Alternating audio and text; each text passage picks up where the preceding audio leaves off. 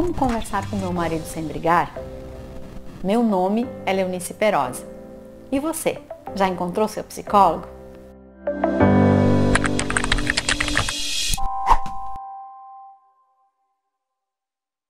Você também tem dificuldade de conversar com o seu marido? Percebe que nas rodas de conversa entre mulheres, geralmente esse assunto está em pauta? Como é difícil, eles não gostam de se expressar. Ah? Então, Sabemos que um dos aspectos mais importantes para ter um bom relacionamento é a comunicação. Afinal de contas, é conversando que a gente expressa o que pensa, o que sente, os nossos planos.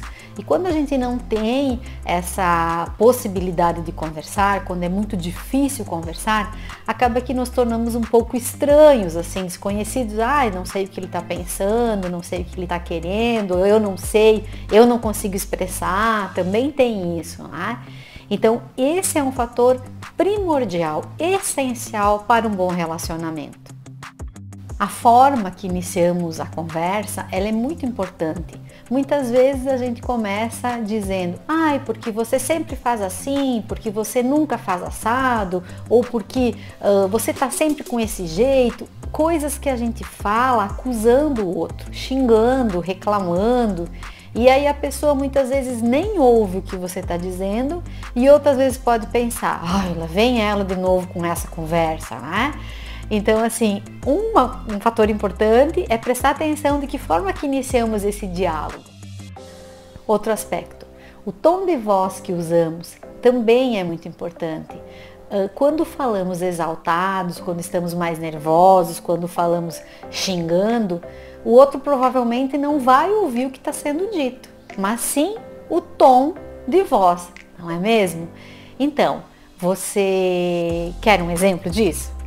Veja só, a, quando falamos a palavra eu amo você, a frase, né? Eu amo você. Ah, é uma frase bonita, é uma frase linda, não é? Quem não gosta de ouvir que é amado, não é mesmo?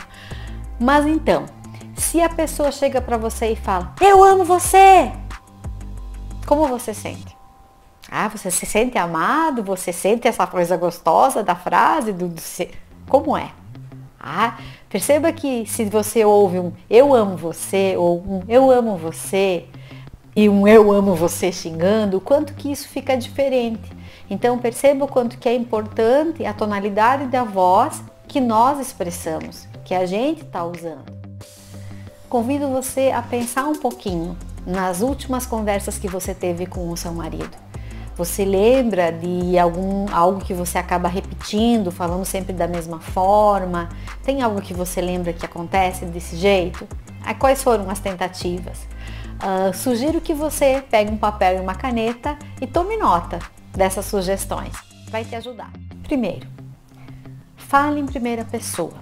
Ah, vou dar um exemplo com relação a isso. Você e seu marido combinam de jantar com os amigos. Vamos supor 20 horas, tá? E é 7 horas, nada. É 7 e meia, nada. 7h45, nada dele chegar. Ele chega 20 horas em ponto. Como você está a hora que ele chega? Ah, você ficou alterada? Você ficou nervosa? Como você fala com ele?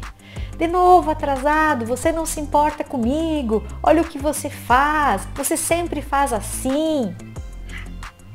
Então, geralmente essa é uma atitude que não vai gerar uma mudança.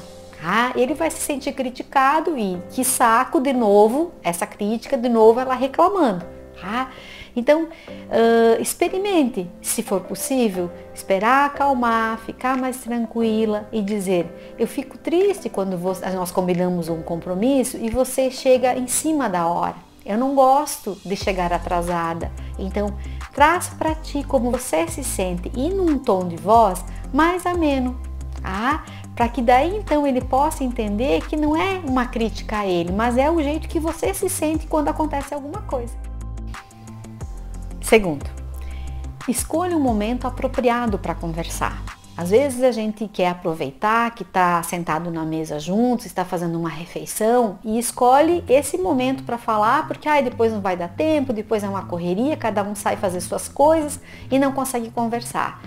Uh, nem sempre esse é o melhor momento, afinal de contas, se está comendo, ou está com pressa, ou está chegando em casa, ou está saindo de casa, ou tem uma reunião, ou algum outro compromisso. São momentos que a pessoa não vai te dar atenção de vida, não vai nem estar com o foco na conversa, ah, vai estar distraída e pensando em, em outra coisa, em algo que está preocupando.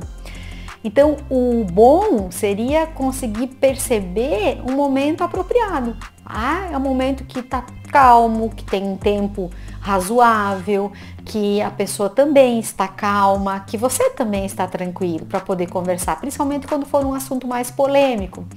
Afinal, quem nunca teve dias que não estava afim pra, de conversa, não é mesmo? Quem nunca teve dias que uh, não, não está afim Terceiro, se for difícil encontrar um momento para conversar no dia a dia, na rotina da nossa vida, cada um com suas funções, seus trabalhos, seus afazeres, e não é fácil de encontrar esse momento, crie esse momento.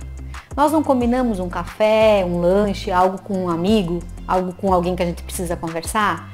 Por que não com o marido? Ah, então pensa no momento que seria apropriado, convida para tomar um café. Eu falo tomar um café, mas convida para não convida, vamos conversar, vamos marcar para conversar, porque aí já vem, ai, de novo isso, não é? Então assim, convida para tomar um café, marca, agenda, eu preciso falar com você e gostaria que a gente tivesse tempo, gostaria que a gente tivesse ah, mais à vontade, que ninguém atrapalhasse, principalmente se você tiver filhos.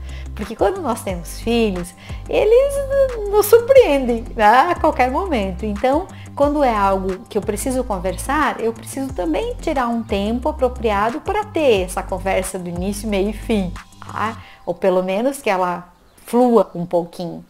Então, uh, por que não? Combinar e tirar esse momento para vocês.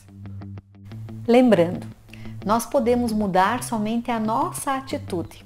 Não podemos mudar a atitude do outro. Experimente. Experimente seguir essas sugestões e veja se surte algum efeito, se tem alguma mudança. Ah, perceba se isso acontece. Eu te convido a se inscrever aqui no nosso canal e que assim você possa acompanhar mais conteúdos. E caso você queira conhecer mais sobre o meu trabalho, os meus dados estão na descrição desse vídeo.